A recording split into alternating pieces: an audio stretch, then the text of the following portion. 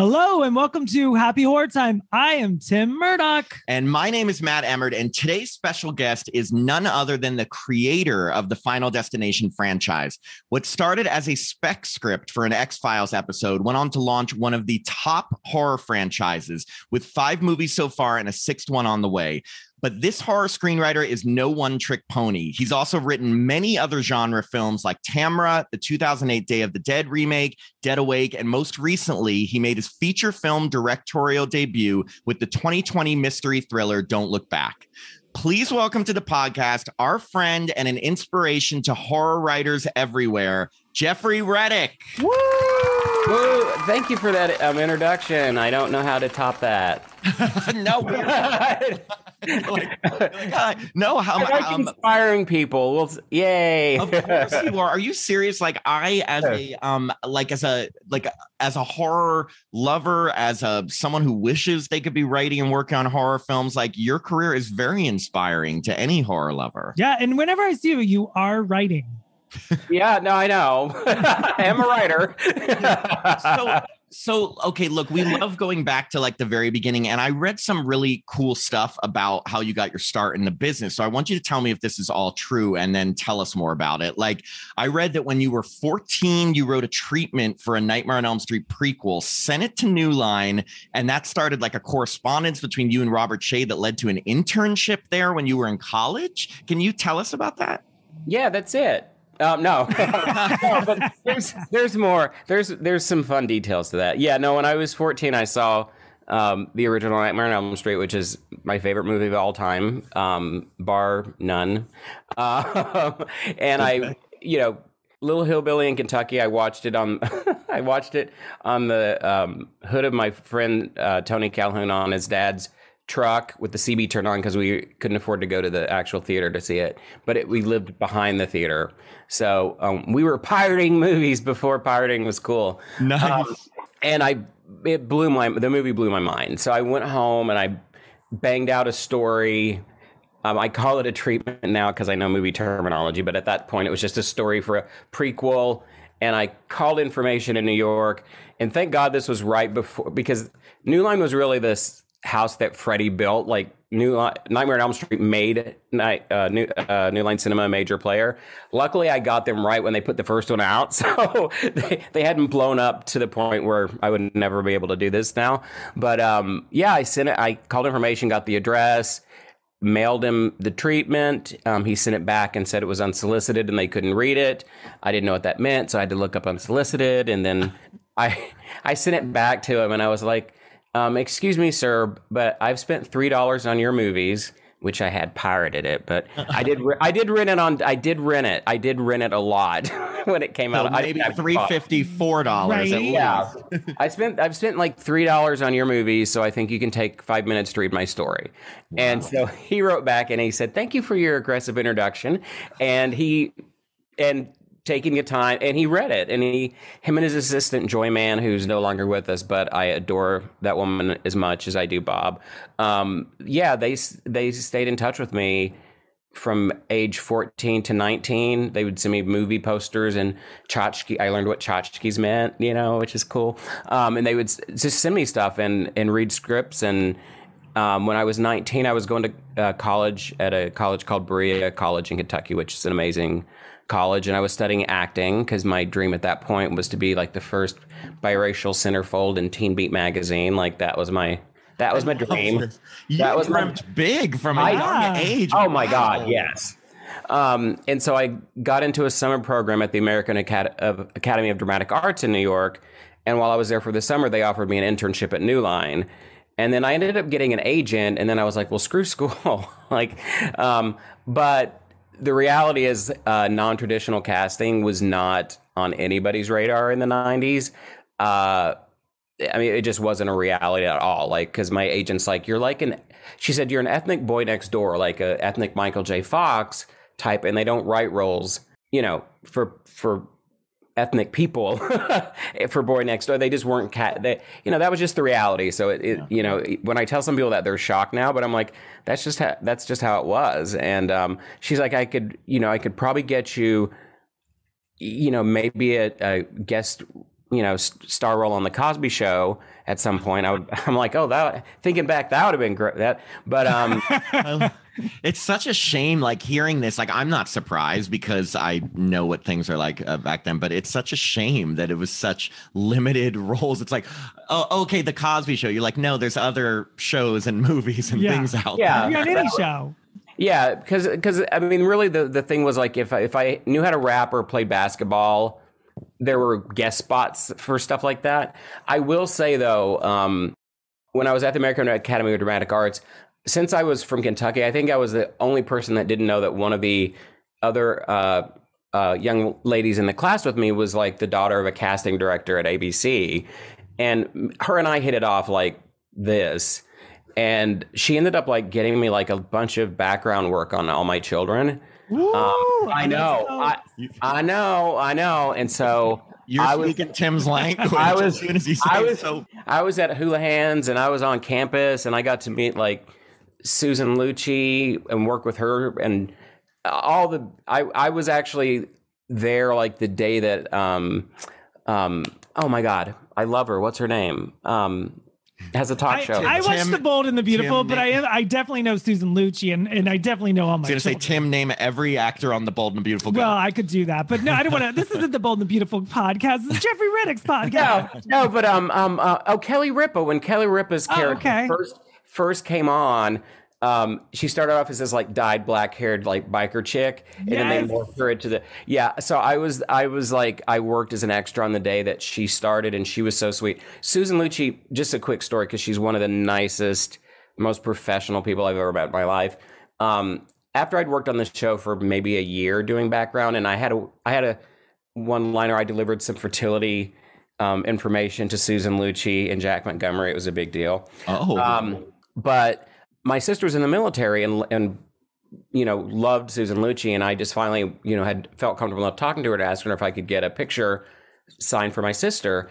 And she's like, sure. And she said, come on back. So she took me back to her dressing room and she picked out a bunch of them. And she said, you know, I don't want to send her too many, but like pick three of them that you like. You know, she was like the sweetest person and I adore her. Um, so anyway, cut to no acting other than that. wait, wait, but I'm so. Then, did you prefer acting at that point to writing? Like, would you? Uh, Oh, were- yeah. were you trying to pursue? Oh, okay, okay. Yeah, that was my that that, that was my goal. Um, was always to to act and um, writing.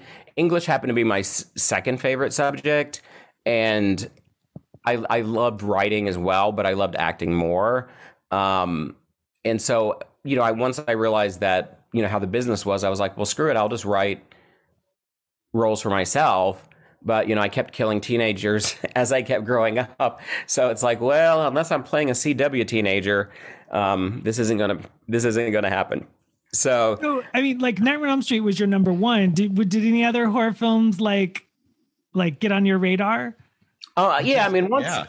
Uh, yeah, I mean, me and my friends, like, I mean, we were horror goons back in the day. Like, for for us, it was like we wanted to find the bloodiest, scariest movies out there because everybody was like, "That's disgusting." And you know, my, my friends were straight, so of course they they wanted boobies um, in their movies too. So I mean, we watched all the standards, like the Friday the Thirteenth, um, Texas, Chain- like every every movie that you can imagine. You know, we've Faces of Death. I'm um, waiting for you to say Halloween. Come on, Jeff. Oh, I was I was going to. I thought, but I got I got distracted when you pointed the camera. I, down. am sorry for our listeners. I, I just know. I just moved the camera to show my. I'm always wearing a Halloween shirt. I know, but feel like, like, for Jeffrey's eyes, that probably looked like you were showing it your crotch. I was That's what- not. I was. I, I was I not. thought you guys were. I was like, oh, it's a crotch shot all of a sudden. Suddenly Um, we're going. See, so we like to, to spice things up, Jeffrey, and we just throw in crotch shots. No, no, I was showing Jeffrey my Halloween shirt. Sorry, go on. I was just waiting. I was like, is he going to say Halloween? Is he going to course say I'm gonna- Halloween? of no one's course ever I'm heard gonna- of it. Of course, I'm going to say Halloween. It's it's it's it's one of my top top ten as well. Um, but you know, the the bigger movies that really influenced me, like I found Suspiria when I was young. Oh, Uh, good one. or Suspiria, I guess, um, and love that. Uh, uh, Night of Living Dead, Psycho, um, you know, Halloween. Uh, I loved One Dark Night for some reason. I always, I always, I always.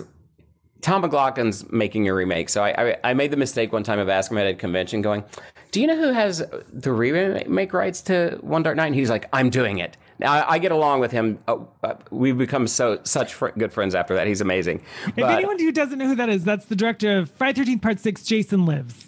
Go Oh, yeah. on. Yeah, and apparently, yeah, and apparently he's like the coolest person. Everyone, Oh, in, like the all the all the Friday documentaries, like they rave about this guy, the director. He's so not. He's just so. That's what I love about like ninety nine percent of the horror filmmakers and actors and actresses I met have been like, and I'm sure you you know you've noticed this too. Have been really just down to earth, regular people, and it, it's y- y- you expect it, but I think that the, there's no such there's no other fandom like horror fandom. Mhm. You know, like you don't have romantic comedy conventions. You you have specific movie conventions for sci-fi, like you know Star Trek and Battle. You know, you have things like that. But the horror community is just like so um, supportive and passionate, and and it's just really a great thing to be a part of. Very Um, faithful. Yeah. yeah, yeah. You know- I have to throw Candyman out there too because Candyman Oh. blew my mind. oh, of course. And um, and your thoughts on the uh the latest installment? Did you enjoy that one?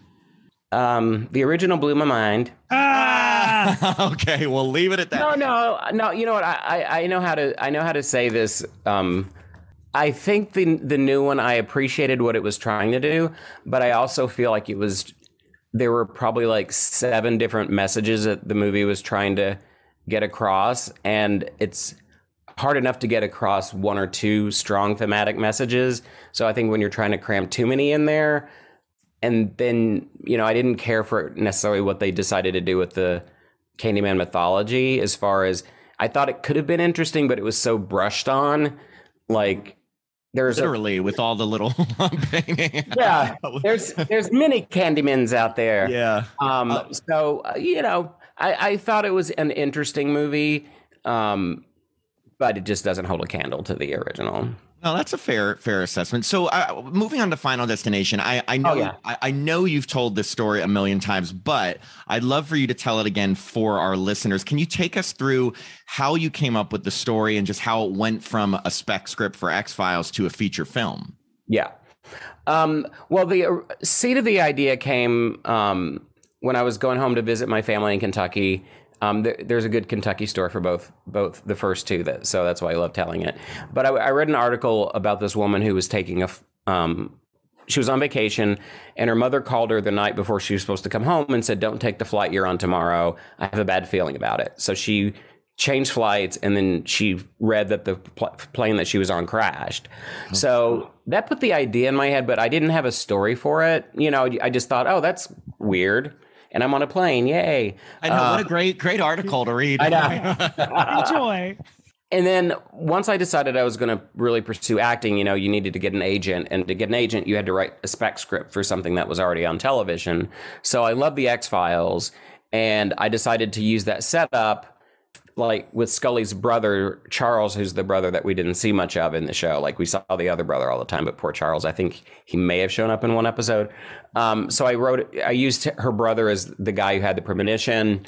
People start dying he's a suspect. The X Files have they have to solve it, but um, I never submitted it. That's the only thing that that's the only piece of history. It's always like, oh, it was it was a it was a either a rejected X Files script or a script that went to the X Files and James and Glenn turned it into a feature. But I never actually submitted it to the X Files because my friends at New Line were like, this is a great idea. You need to write this as a feature. So I got an agent from the script and yeah, then I just I started writing. Um, I wrote a treatment for it, a feature length treatment for it. And um, even though I worked at the studio, I I kind of knew the business enough to know that I needed to bring on producers.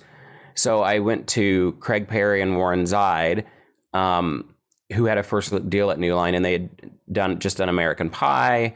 And um, my friend Chris Bender, who now has his own company, um, w- started working as their assistant. So he's like, "Hey, we're look we're looking for horror stuff. Send us over three of your ideas." So I sent over three ideas, and they sparked to um, Flight 180 is what it was called at the time.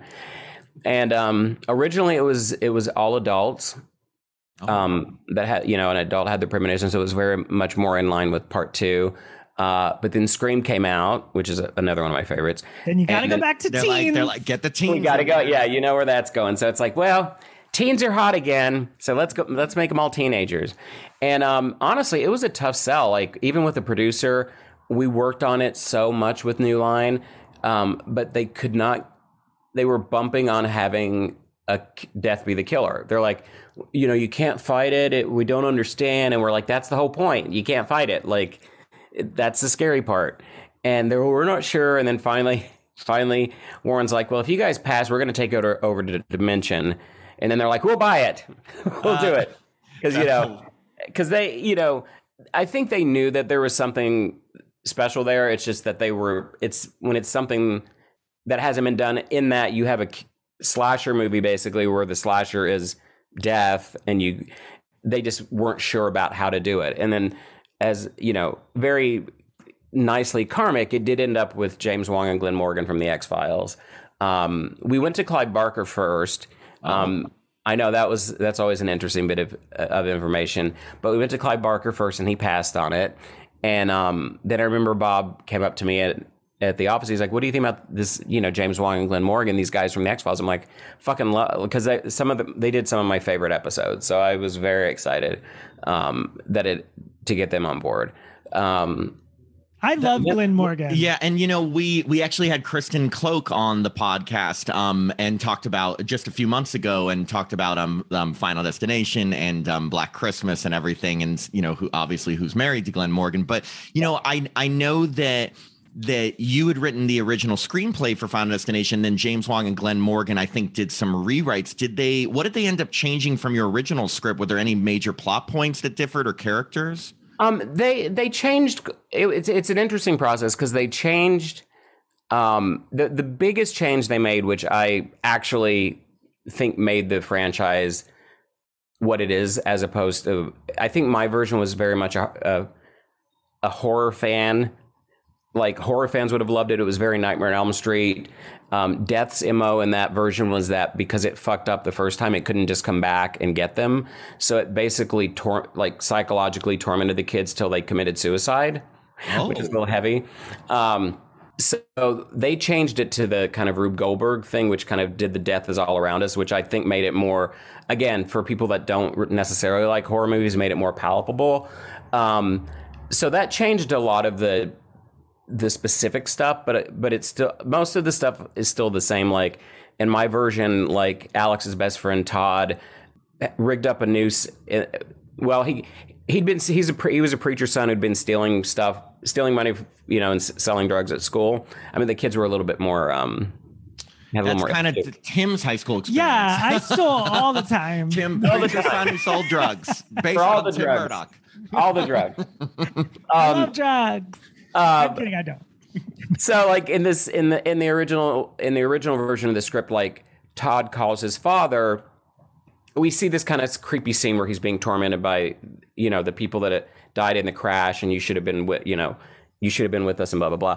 Well, and, like that already. That like gives me the heebie-jeebies. I would have yeah. loved to see some of that. Anyway, go on.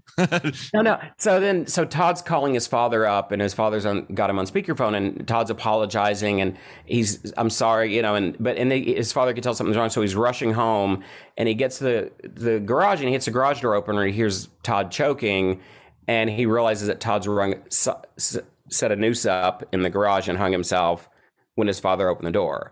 So, you know, so in the new version, obviously Todd gets hung in the shower. So there's like different deaths, but they're still like, you know, like in my version, the asshole jock like throws himself in front of a subway train and, you know, after picking on his girlfriend, you know, Terry Cheney, you know, so yeah, so they they did they came up with a Rube Goldberg thing, which I'm actually very grateful for because I think I think my version would have been a I think it would have been a Nightmare on Elm Street kind of hit, hopefully, but we didn't have a Freddy Krueger, so but it wouldn't have had the kind of widespread appeal that I think the franchise got with the Rube Goldberg stuff.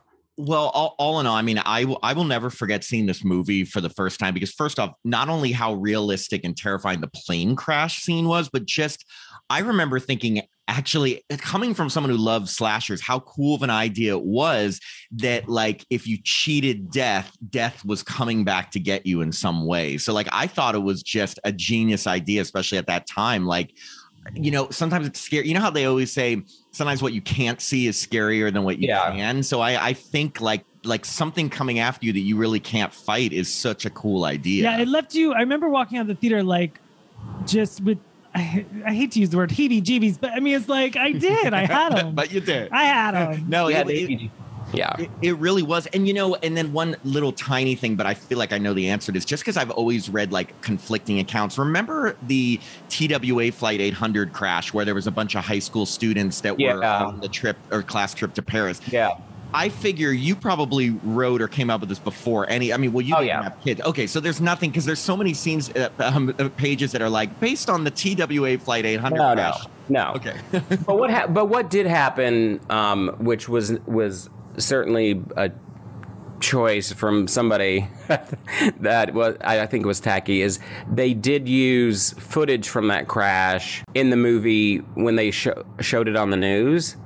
Um, so that was that was something that was very tacky, but but people don't understand how long it takes movies to get made because I think that crash happened like the year before the movie came out. I forget exactly when it, but but it's like yeah, there's no way you can write a movie, make it, and you know, um, so yeah, that the crash hadn't happened um, when I, wrote remem- it. I remember seeing it and thinking, wait, weren't there high school students that were on a Paris class trip in that crash? And so, like, immediately your mind goes there. But then, obviously, like you said, hearing more about it, especially the fact that your original script had adults, obviously you were Yeah. going off of, of that. Okay, so Final Destination ends up grossing like I think it's like 112 million internationally, and then New Line contacts you about a sequel. And I noticed that you're credited with coming up with the story for Final Destination 2, but not writing the screenplay. So for us non-entertainment industry folk, what specifically does that mean? Like, did you do a treatment and then hand it off to the writers? Yeah, um, I mean, what happened? It's it, typical Hollywood. Um, uh, you know, I I'm I decided because I sh- when I when I did the first movie, like I still continued to work at New Line. I was like, oh, I can just stay because I'm a creature of habit. So I'm like, oh, I'll just stay here at New Line and just write movies for the rest of my life. Um, so um, I had actually came up with an, the sequel idea after the second week. I mean, I had the general. I I, I knew what I would want to do with the sequel, but after the second week, when I saw that the numbers were going up, like it was it was a real sleeper hit. Actually, like it it opened I think at number three or four, and then climbed the charts, and then stayed in the top five. I think for like a, a long time. It was it was a sleeper hit. So. Um, I actually wrote an I- the idea for a sequel, but of course, Hollywood being Hollywood, they met with every other writer in Hollywood for a story, and then they finally came back and said, "Okay, we're going to use your treatment." That's so random because you already had a successful one in the first one. Like, why not? Like, if it ain't broke, don't fix it. What? Yeah. That's so weird. Yeah. Well, I think part of it, I think part of it was because I, a I didn't move out to Hollywood. You know, like I I was working in New York, so the Hollywood side of the business is very much kind of who's out here and who can be seen. Um, I know there was also an, an you know I just bring this up because it. Um, it came up recently because uh, somebody was doing an anniversary edition. But you know, I also know that you know James and Glenn were kind of going around telling everybody that my original treatment had a guy with a hood and a sickle hacking up teenagers, and made it sound like they came up with the idea for Invisible Death, which is just bullshit. Um, so th- that was kind of going on out here, but which I didn't know about. Um, but the thing I love about the sequel, the sequel actually is my favorite. Um, I was just it- about to ask you, are you happy with how part two ended up being? Oh my God, yes. And Eric Bress and J. Mackye Gruber wrote the, the actual script for it. Um, but the reason that I like part two is there's a whole bunch of stuff that I always like in sequels that I got to do. Um, you know, I set up a group of teenagers that you think are going to be the leads, and then I kill them all off except for Kimberly. Yeah. So you think they're going to be t- the teenagers are going to be the leads, and I killed them off. Um, I brought back, you know, some OG players. Originally, I was going to have Devon and um, Ali Larter come back, and um, they couldn't work things out with Devon. Um, otherwise, I probably wouldn't have killed Ali Larter. Like I killed her in the version where Alex was in it and lived till the end. Um, In the version of part two. yeah, Yeah. Oh, because I always wondered why Devon Sawa didn't return because it just seemed. I mean, I I'm someone who I absolutely love when sequels bring back characters. Yeah. Obviously, you get attached to them, and of course, I loved Ali Larter, but I always wondered it was just like, oh, he got hit by uh, a, what, like a brick off the. That, yeah, that was and that was a that was like a bullshit thing. I think I think I think there there was some there were some problems getting him back for the sequel, and I so I think somebody at the studio was just trying to be kind of a it, it felt like a dick move to kind of just be like, oh, he got hit in the head by a brick. I But like, just don't tell us what happened to him, and then you can bring him back in the future. you Right. know? Oh, like well- he's, he's hanging out in Paris. well, you know, for all we know, since since it's only a newspaper clipping, Oh. I'm not. I mean, I'm not. This isn't like a secret drop about anything. I'm just saying. we just got the scoop. Thank okay, you, Jeffrey. everybody, everybody. Alex is alive. Devon Saw Sawa's coming back. Thank you. no, but I'm just saying, since in my, and you know, in horror movies, if you don't see him die on screen, and sometimes when you do see him die on screen, That's um, true. Hello, Jamie Lee Curtis. Yeah. so, um, in my world, because I, it's not canon in the franchise that everybody dies at the end of all the films. What started it, James and Glenn came back for part three, and they kind of started that, you know, wiping out everybody. And it's on the DVD extras for part three that the survivors for part two died in an accident. Yes. But it's it, that's a DVD extra. You know, that's not like part of the movie. Like you you never see see that. So even though that's the one thing I'm hoping that they changed with the sixth one. Like I'm I'm um I've talked to the writers, they're amazing. Um and you know, they were kind of like wanting to know what I thought some of the important kind of DNA kind of things were. And I was like, well, one, Tony Todd, you have to bring Tony Todd back. Yeah. um, and I said, you know, I would love to kind of reintroduce because my the, the theme that I wanted with Final Destination wasn't that yes, you can't cheat death, but I didn't want it to be like, oh, if you cheat death, it's going to kill all of you right away. I wanted it to be like you have a chance. You never know when it's going to get you, but there's a chance that you can still prolong your life. So I wanted. I said that's the that's the theme of the movie, like live life to the fullest. Not that you know, oh, if you cheat death, it's gonna like wipe you Yeah, all like, out. I mean, what a what a like despair filled, like hopeless message. If it's like, hey, you can cheat death, but tomorrow you're dying anyway. yeah, Did you? Well, because oh, sorry. and Ali uh, Ali Larter's character, she was alive for a year in Stony Brook. You know, so Yeah. in a padded cell. I mean, it was a fun living. Yeah. Yeah, she was, had her meals. There wasn't a bathroom in the cell. I don't think so. I don't know how how that worked, but No, but, but she had a lot of patty. I remember. You know, we we were actually going to ask because then you you didn't come back for parts three or four or five. Was there any specific reason that you didn't come back to those? No, I mean, I started working on other other stuff, obviously, and I'm very, you know, I love the the franchise. Um, for me, I always think there's so many ways you. For me, I've I keep I've always, but it's if it's if it's not they have the if it's not broke, don't fix it kind of mantra. My idea is that death can always have a new design, so we can always maybe change up how death gets people. Um, the Rube Goldberg stuff is great but I think it would be nice to like take the, you know, I think you could take it into different kinds of directions. Um, so I don't just want to kind of come back and tell another regular. Cool. well, well, and you said you were talking about because obviously there's been talk about the sixth film, which is coming Mhm. out. Is there anything you can tell us, or that you're allowed to tell us about, us, or how? Like you said, you've spoken to the filmmakers, has, and they've been consulting you. Yeah, is there? What can you tell us, if anything? I mean, uh, the only thing I can say is what's been announced. um, so uh, you know, yeah, no, the you know the um, the uh, the writer director of Spider Man um, came up with the story, which was awesome. Um, Guy Busick, um, who worked on the Scream, the new Scream, and um, oh my God, I'm blanking on her name, Stephanie. Um, oh, I'm blanking on her name. He's got a writing partner, um, and I talked to both of them, and they were just they were just amazing. Um, and the thing I like about them is they're fans That's you know they're yeah. they're diehard fans so they're very um it's for them it's important to like make a movie that the fans are going to be happy with which i think a lot of times you don't get that with filmmakers i think a lot of times they just want to make a film that they're happy with um and they don't think about the fans as much so um i can tell you it's a it's a new angle so it's not just going to be the typical Final Destination with one rule pop up that's like here's a here's a rule that's different for this movie that kind of it's going to be different than that but it's going to still be f- very final destination Okay. Uh, well, because I was going to say, so the Final Destination movies have done a plane crash, a freeway pileup, a roller Roller coaster, coaster. drag racing accident, and a bridge collapse. Or if you had to pick another major disaster you'd like to see in a future installment, what would it be?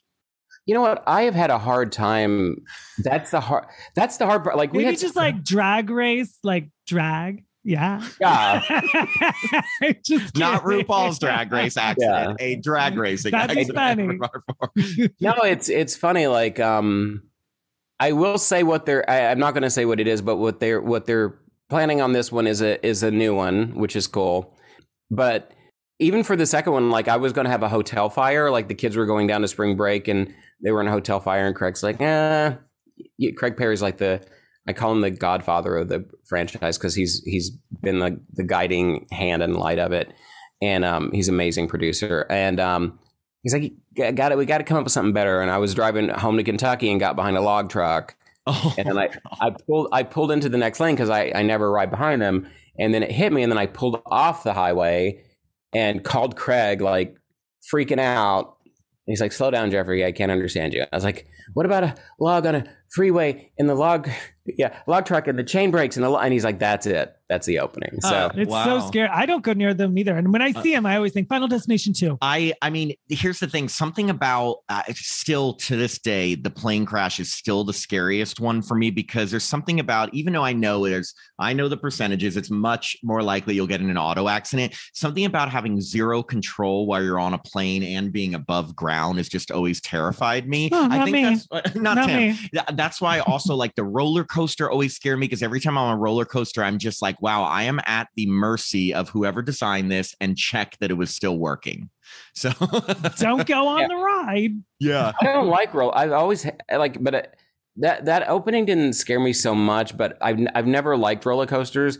I mean, I'll, I'll ride a roller coaster that goes like that and then goes like that. But I've been I've been on one loop one and that I hated. I just hate them. I hate them. so much.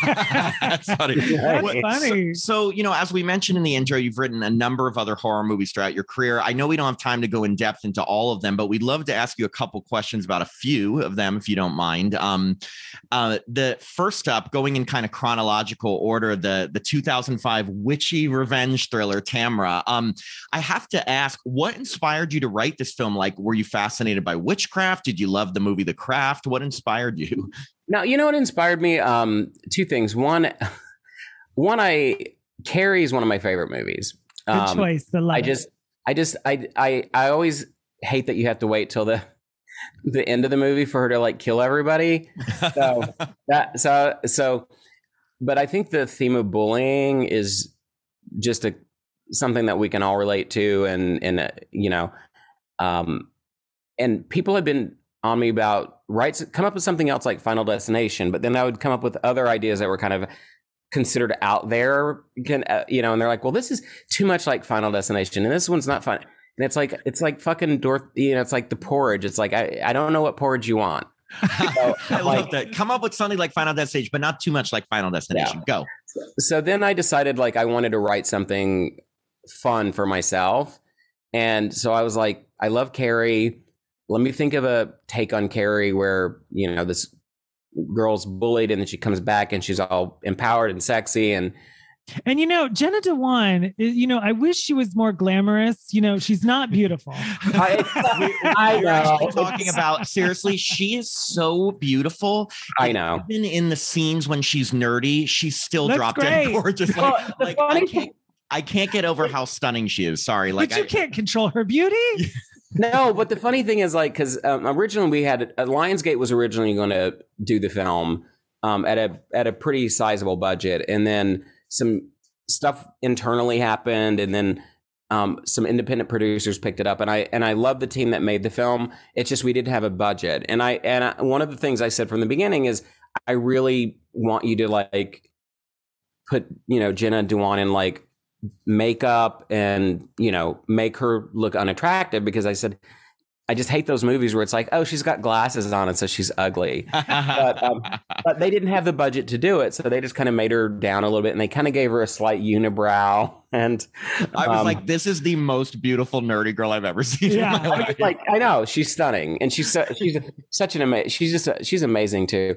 She reminds me when I watched um, the new Scream, Jenna Ortega's character, yeah. and the new Scream reminded me of Jenna Dewan and Tamara, and I was like, those they should play sisters in a movie. Oh, It- totally. is she- what is she like to? What was she like to work with? Like, uh, um, yeah, is she just as great as she is beautiful? yeah, yeah. And we were shooting. The whole cast was great on that film. Like honestly, and we were shooting in Winnipeg, um, Canada, which is like one of the places in Canada where people are like. The worst places to shoot are Winnipeg and some other place, just because they're really far out in the middle of nowhere, and it was freezing.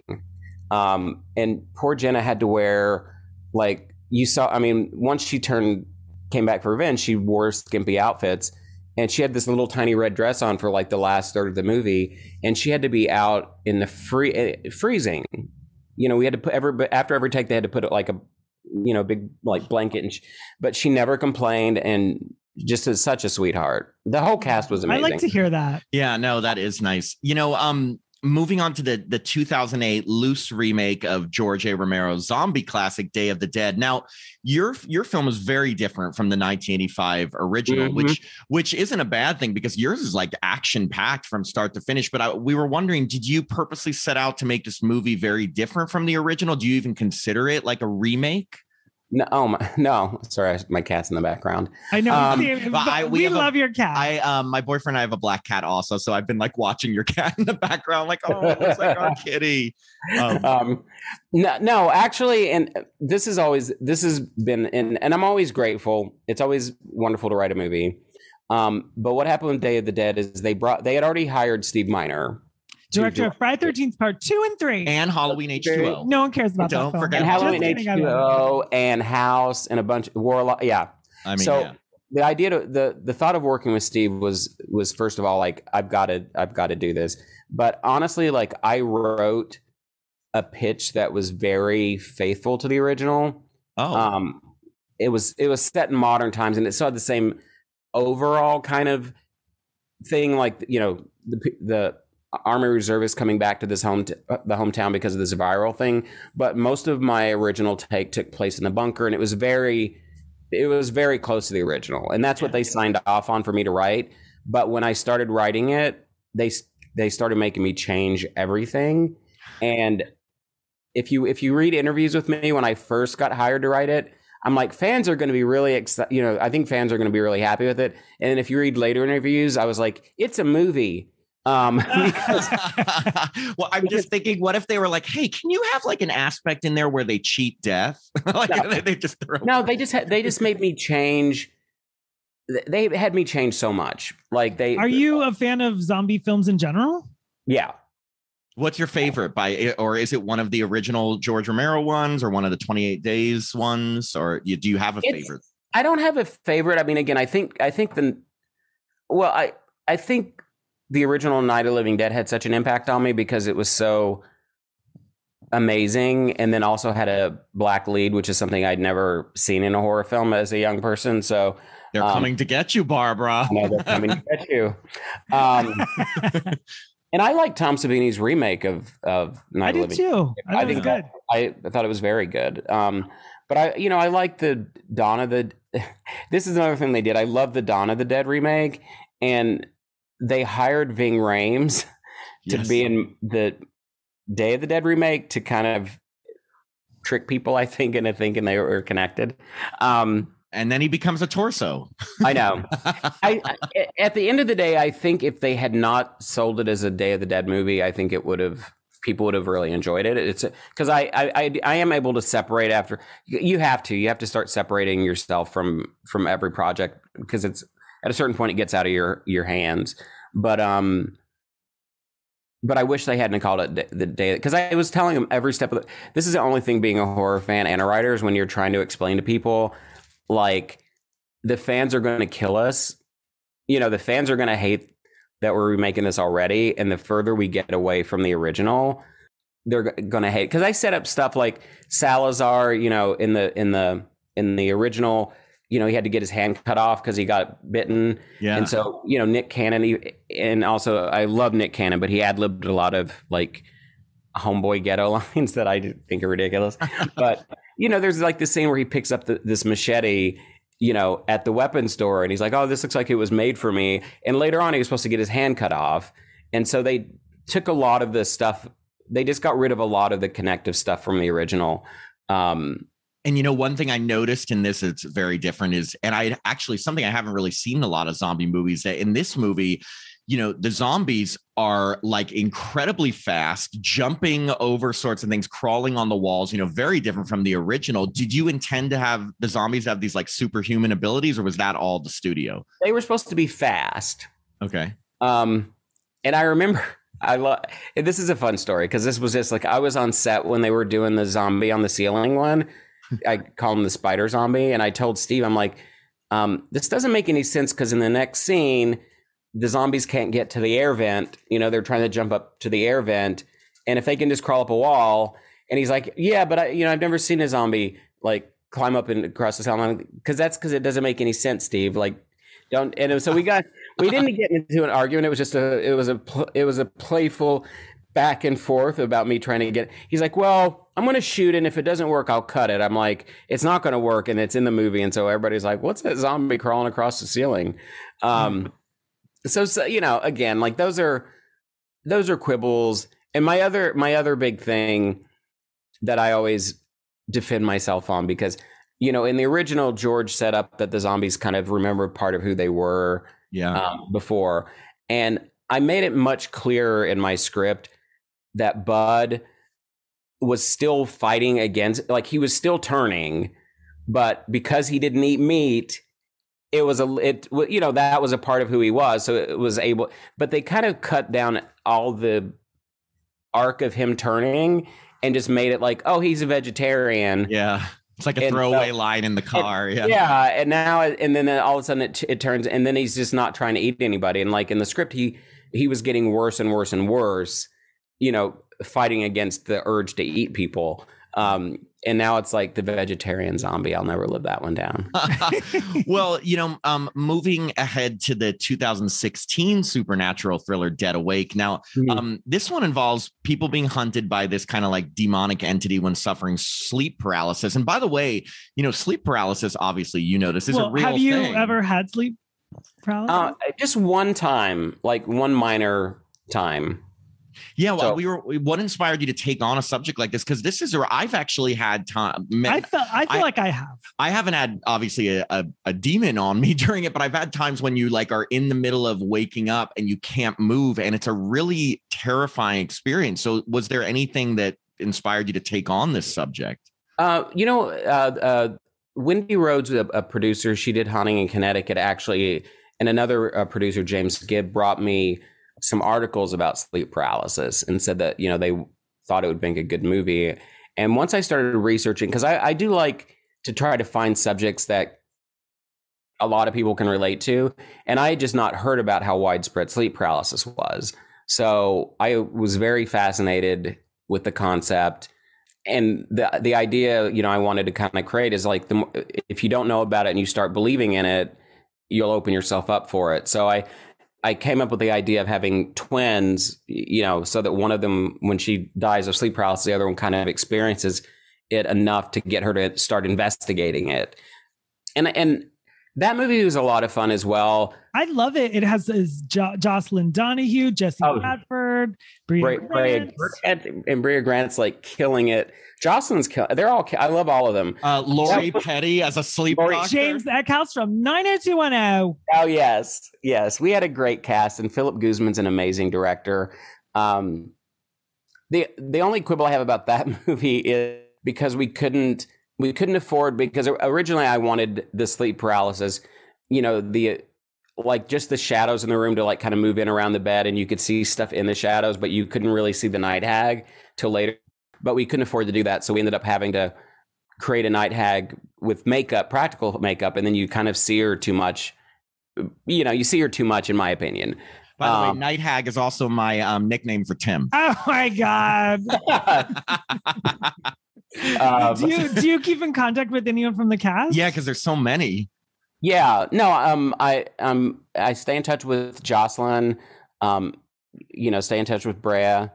Uh, adore Brea so. I adore. I and Jesse Bradford is like he's a star. Like I, I want to cast him. He's just got. I mean, aside from being incredibly good looking, like he's one of those guys. Like when you watch a movie, like he just he pops on. on I. I agree. And with Jocelyn Donahue, I'll watch her in anything. But most Anything. importantly, are you close friends with James Eckhouse?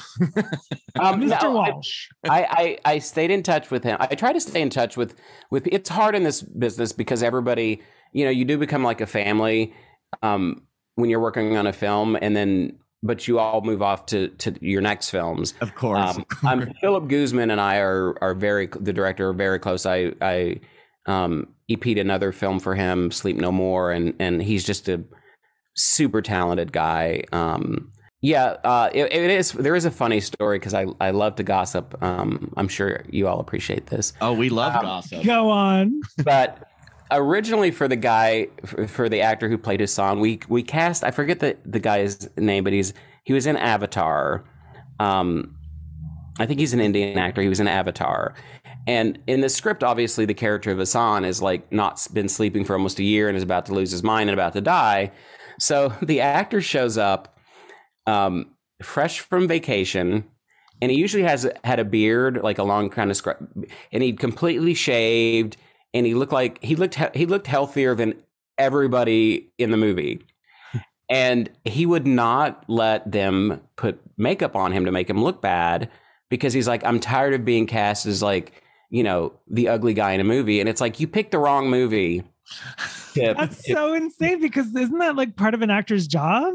yeah. So we had to fire, so we had to fire him. And then luckily the guy who plays Hassan is fucking amazing. So everything works out well. But, um, it, it was just funny. It, it was because the guy shows up on set and everybody's like, Are you fucking kidding me? Like, you just went on vacation. So he's already olive skin, but now he's like super glowy and he looks amazing. You're like, you and- look too good for this role. Yeah, Next. Ready for your photo shoot. Yeah, and uh, and uh, they tr- they shot two days with him, and he was even arguing about wanting bags under his eyes, and so finally the second day they just they sent him home. Wow. You Which know, I think it's good because productions uh, most productions won't do that. They'll like they'll like bend over backwards once they've hired somebody. But I'm I'm very much of the thing is like if you sign on for a role, Get ready to look terrible. Yeah. Well, I mean, No. especially in a movie about Yeah. sleep paralysis. Yeah, yeah, right? when, yeah, when you're the guy who's like one foot in the grave, yeah, you can't look like healthier than your leads.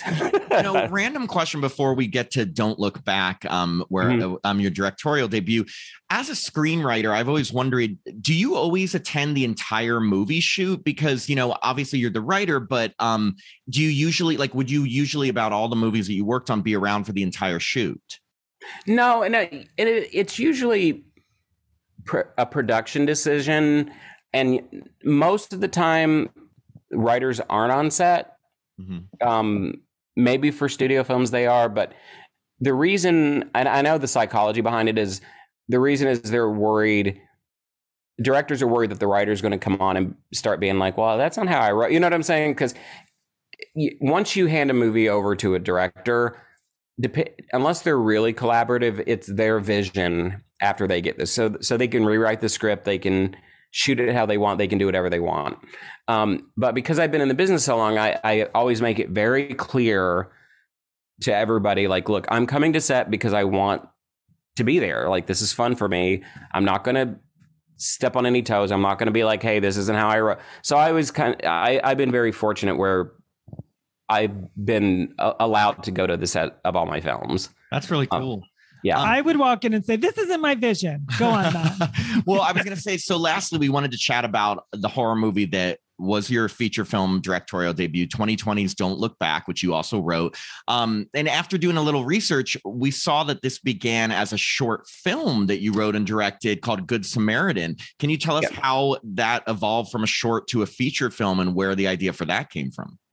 Well, it's actually um, I had the I I wrote the script first, Oh, uh, the feature script, and then I did the short because I wanted to show that I could direct horror. And the idea for Good Samaritan came from I had read this Kitty Genovese story.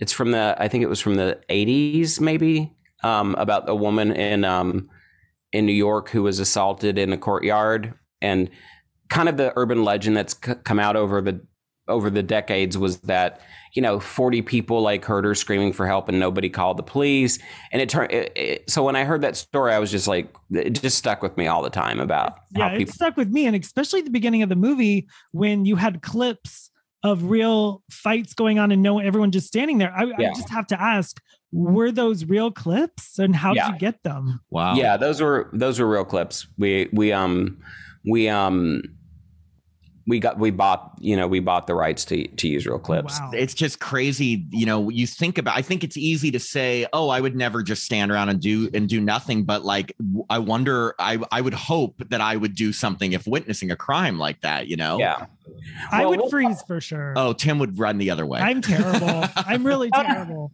but what happened what, what what was interesting is when i was flying to locations. This was another situation where originally we had a studio that was going to do the film for like 5 million and we ended up doing it for way way way less than that because the the studio went up quit doing films. But um um when i was going down to location scout there was a documentary on kitty genovese that debunked a lot of the urban legend because apparently people did call to help. I mean, it's, it was a horrible crime. Like the guy assaulted her, went away, came back and found her. She'd crawled into a stairwell and killed her. Oh. Um, but people did call for help. There was somebody who was with her when she died. You know, um, so people, a reporter had sensationalized the story, but that idea that people, because there have been a couple times where I've tried. There was one time when I saw a guy like screaming at his girlfriend, and this is back when I drank and I was drunk. You know. And I went up and started yelling at the guy, and then he kicked me in the nuts. Um, oh God. I know it was like the weirdest thing. Like I'm, I'm like, okay, this guy's gonna take a swing at me, so we're gonna get in a fight. And he kicked me in the nuts. And then his friends like pulled him back, and they're like, Arr! and then I, I kind of walked off, and I just yelled back at the girl, you know, you could do better than that, that asshole. And then yeah, my nuts were really sore. Um, well we know the outcome is that you're okay so that was Yeah. nice of you to step in yeah. No, but Yeah. it- but yeah, what I've noticed, the thing that I noticed that that is still really shocking, and it's more of our, our culture today, is people's first instinct now when they see something bad happening is to film it. yeah. Um, Yeah. They don't Whip out call. that phone They don't, but they don't call 911 first. Like it's like fucking call 911, then film it. But no, Yeah. everybody wants to film it. So sadly, I don't think that the um, I don't think that the the problem is going away. I think it's it's always going to be there. You know, it's kind of just people lacking empathy, and we've certainly, you know, civility's gone out the window with you know politics and society now. Um, and I'm very proud of the film of how it turned out. I've always I, I've had to very push, you know, because and I hate people that that say a horror film is like more of a thriller. Oh, it's really a thriller. It's not really a horror film. But this one I wrote is more of a thriller because you ca- I couldn't show because the whole idea is is somebody after them physically or is it like karma or is it a sp- like is it su- like you don't know what's killing them. So I couldn't show the murders Mhm. of the people who witnessed the assault because otherwise you would have to give away what's going on. So it doesn't have the traditional horror, you know, kill scenes in there that I that I would normally put in something like that. Um, so I did the short because with the short I went straight up supernatural, Mhm. so that it it was scary. And I think with with the the feature film, um, it walks that line because it's more of a mystery. She's trying to unravel like what's doing this. Uh, you know, is it supernatural? Is it real? Um, and um, did you feel like there were and i feel like this probably is an obvious question but just um, to get your thoughts on it did you feel like there were definite connections between this and final destination just with that unseen force kind of thing or do you Yeah. yeah Well, originally, my original take on this um, was going to be that it was karma. So, like, for the reasons that each person had for not helping, kind of came back on them like with a vengeance and killed them. This was one of the, not to date it, but this is one of the ideas that I gave to New Line, where Bob's like, I love it, but it's too much like Final Destination. um, so, um, Wendy, um, uh, Wendy Rhodes, who worked on Dead Awake with me, also originally worked on this with me, and she's like, "Well, why don't instead of going straight up supernatural, why don't you play with the idea that we don't know if it's supernatural or a killer and and go a mystery route?" So I decided to take it away from the kind of karmic. The karmic version would have been a lot splat more splattery, and um, I'm I'm hoping maybe I'll get a chance to do another one where I can do a karmic splattery one, or maybe I'll just do another movie about karma. I don't know. Well, and what was it like stepping into the director's chair for this? Do you think you'll continue directing in the future? Um, I definitely will. I have a couple of projects that I 100% want to direct. Um, my my friends told me like with directing, it's one of those things that when you do it, you'll either be like, "All right, never want to do that again," or "I'll do that again." So I, I'm definitely fall into the "I'll do that again" category. It was a, it was a, it was a. I'd been on a lot of, I've been on so many sets that I thought it would be. I thought I knew how it would be, but you don't really know until you're doing it, especially when it's an indie film mm-hmm. um, because all bets are off when you're shooting like on an indie budget. Like you have to deal with crazy shit almost every day, like losing locations or something not working or this happening. Um, wow, he is just I love your kitty. I really know. is interested in these answers. Though. I know. I mean, I love it. you know, um, uh, um, we just have a, a, few final like additional questions for you, if you uh, uh, don't mind. I mean, and I was just thinking, you know, just because we're all out gay men here, and this kind what? of thing interests me. Was there, and I uh, was there ever a point in your career where you felt like you couldn't be open about your sexual orientation, or that it would affect you getting hired? I don't think. I mean, I've never been in the closet um, because New Line was very accepting in New York. I'm sure that it did keep me from certain work. You know, one of my friends, um, who's an amazing guy, Paul Etheredge, um, did his first film like Hellbent. Hellbent. Yes, yeah. of course. I'm familiar. He's a cutie. Oh, he is. he's a, and he's a sweetheart, and he's super talented. And you know, again, again, especially for like your first film with no money, um, I remember seeing Hellbent before I even met him, and I was so like impressed because that was the first time I felt like I was watching a movie with real gay people as opposed yeah. to like a stereotypical. You know, they it felt like gay people. Um, but like I know, like with with that film, like that was his first film, and then people were like, you know, the, his agent would send send it out, and they're like, I don't want to watch this gay film. You know what I'm saying? So um, I, I'm sure that it has held me back, maybe in places where I don't know. Um, where it's been a little more frustrating is is when I've tried to include gay and lesbian characters in my scripts, um, and they've been de-gay. Like in Tamara, uh, Chloe, the the female lead, is a le- in my script was a lesbian. Like if you watch the finished film, you know you see that Jesse has a thing for her, but it never goes anywhere, yeah. and you're kind of like, why don't these two ever hook up? It's like because she's a lesbian. Um, and her thing was going to be that her parents, Tamara put a spell on her parents, and they show up at the hospital and try to kill her. And they were like, "Oh, we can't afford the parents, so we're just going to cut that subplot um, of her being a lesbian." And and then also the scene with the jocks. The scene I always get. This is this is the only thing I uh, that stre- that angers me of my films. Um, because in the script it was very clear that the Jock Guy and his friend were date raping women. So when Tamara puts a spell on them in the script, she made Sean rape Patrick. And it was, you know, and I remember it was in the script. Nobody had any problems with it. And then I get a call the day before they're shooting, and they're like, "Well, how much do you are we should, should we show in this?" And I said, "Well, it's a rape scene. It's so whatever you would show if you were showing a woman getting raped, just show shoot it like that." And then I saw what they did because the actors pussed out and um, and everybody pussed out on it. So now it's like Tamara kisses both of the guys and then they start making out.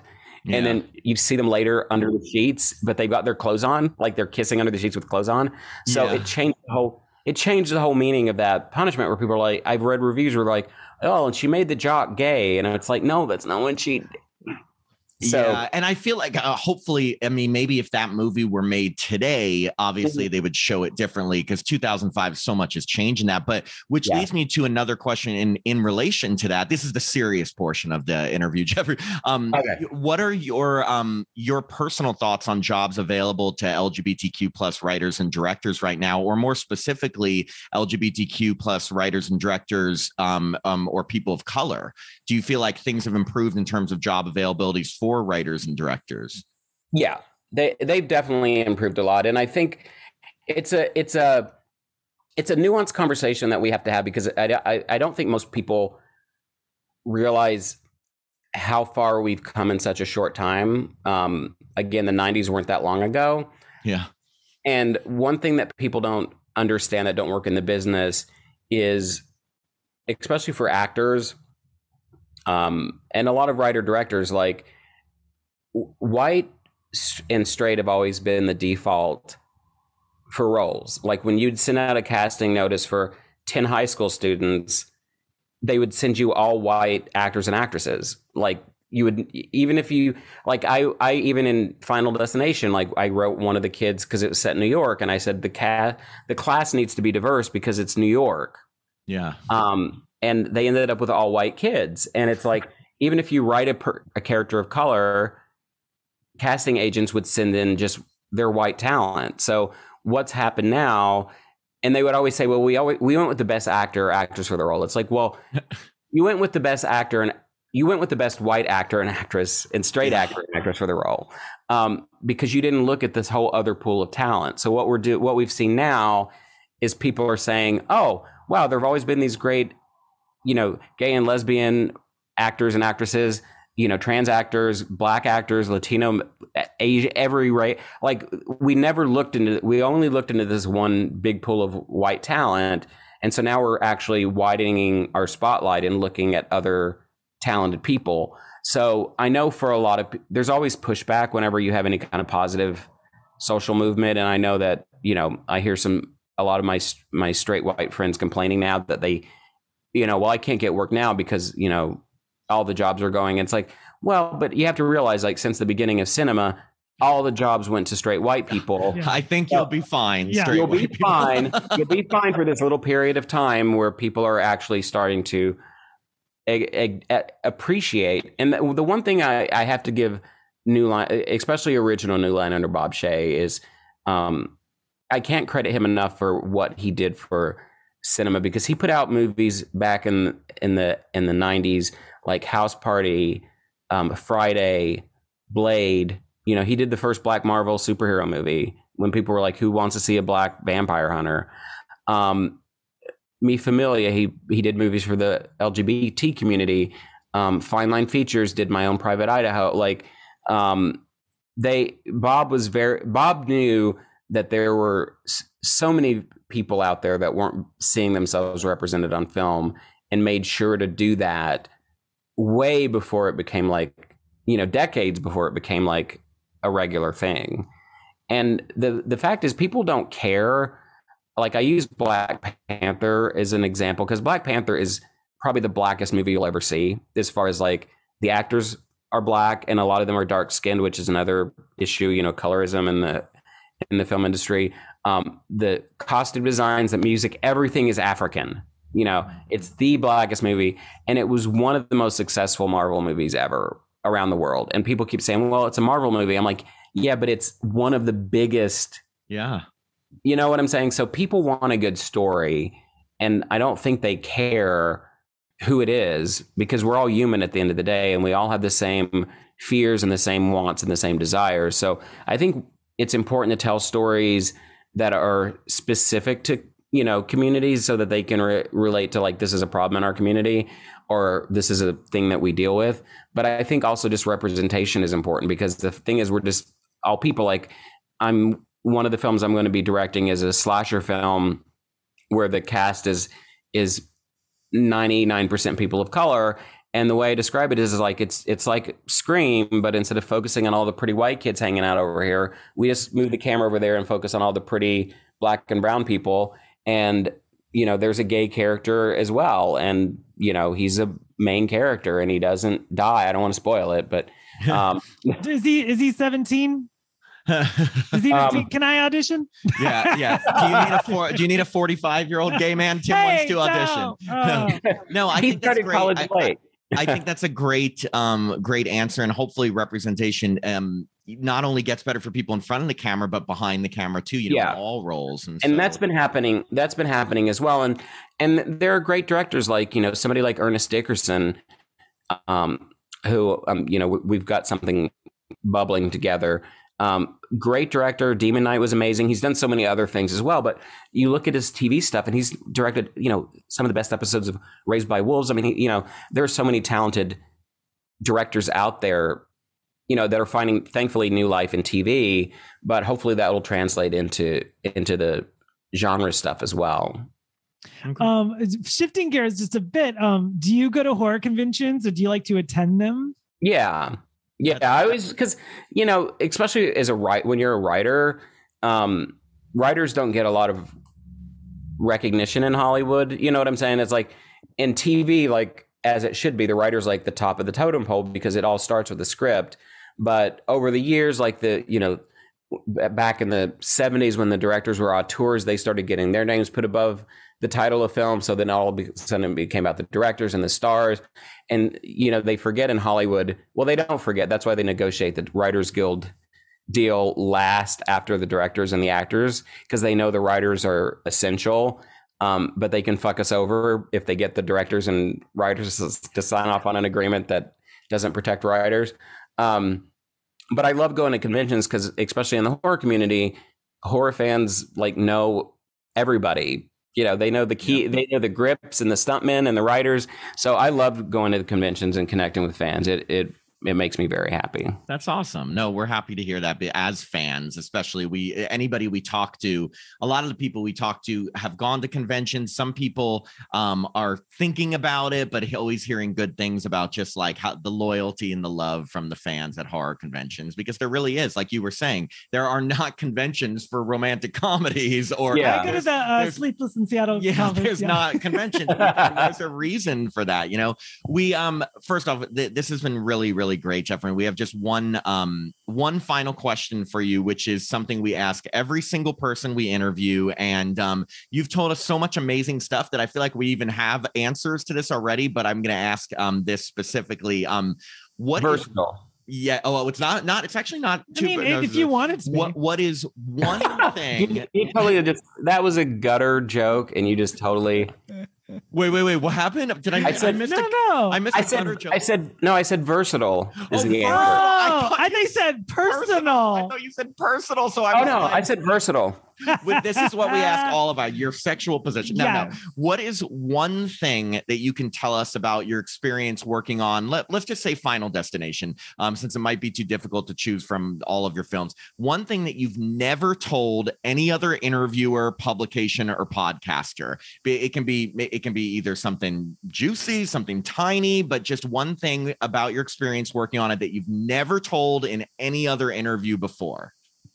Hope we didn't put you on the spot. No, I don't think I told this in an interview. Um, well, I went I went to visit the set with my boyfriend, and they put us in one of those like longer trailers where there's other rooms in there. Um, I like where this is going. yeah, and uh, well, no, that didn't happen. Um, um, but two people that were working on the film, it was their last day of shooting, and they came in and they started fucking next door. they didn't know we were there. They didn't know we were there. And yeah, they Wait, started. are we talking cast members or crew members? I'm not going to say any more detail than that. okay, a good- okay. That's a good one. Keep it as vague as possible. So yeah, so they yeah, we heard them and we're like, what's going on in there? And all of a sudden we heard moaning, and then some stuff fell over, and then the music got turned up real loud. I'm like, they're fucking. Um, That is amazing. you may have gotten the reward for best reveal from all the people we've we ever have heard all sorts of things from like people have answered this question with really juicy stuff um and some people have been like hey, I like to make movies. yeah or like i had a meal one day that was this so that is a really good one Unexpected. but I, I I will say it's not it's not like you're who you would it's not like Devon or Ali Lar. I don't want to like start No, it. no, It no. wasn't It's just people on a movie. it was it would definitely wasn't it would definitely wasn't this. Cast. the- Yeah. No, no, I'm I not saying it totally wasn't- get it. I'm not saying it wasn't the cast. I just don't. Well, I don't totally to get it. We know it was Yeah. Seann William Scott. I was gonna. Oh, I wish. I would have walked in on that. Um, I would have walked in on that.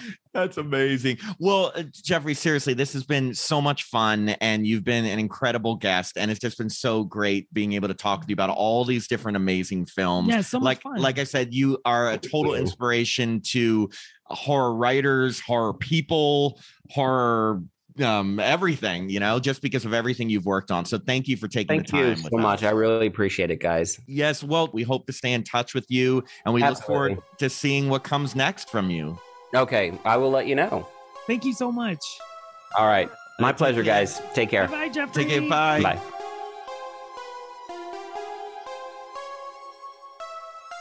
We hope you enjoyed this episode of Happy Horror Time. This podcast is hosted by Matt Emmer and myself, Tim Murdoch, and co-produced and edited by Jacob Randall. We now release episodes every Monday, and in each episode, we either review horror movies that just came out or interview stars and insiders from iconic horror films.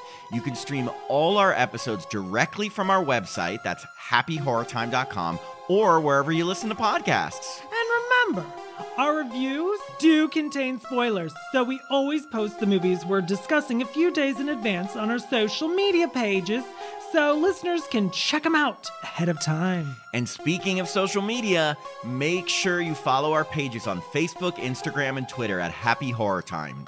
We even started putting our interviews up on YouTube along with our horror short film. Come in, you've got to check it out. You can find us on YouTube by searching for Happy Horror Time.